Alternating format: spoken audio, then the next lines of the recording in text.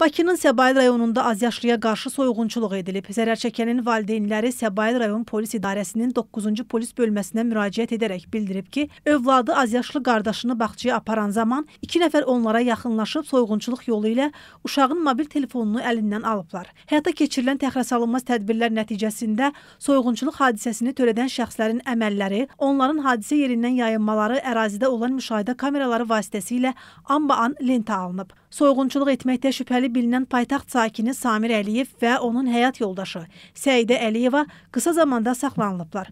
İyul ayının 1-də səhər 9 radələrində yoldaşımla Baksavet metrosu yaxınlığında gəzərkən bir qız uşağı gördüm. Kalyaskada balaca uşağı gəzdirirdi. Qarşımda gedirdi. Gördüm ki, telefon əlinə atdı cibində telefonunu çıxartdı, danışdı, qoydu telefonu cibinə arxası ilə gedib yaxınlaşıb əlimə atdım cibinə, telefonunu götürdüm. Götürüb itələyib arxaya dönüb qaçdım.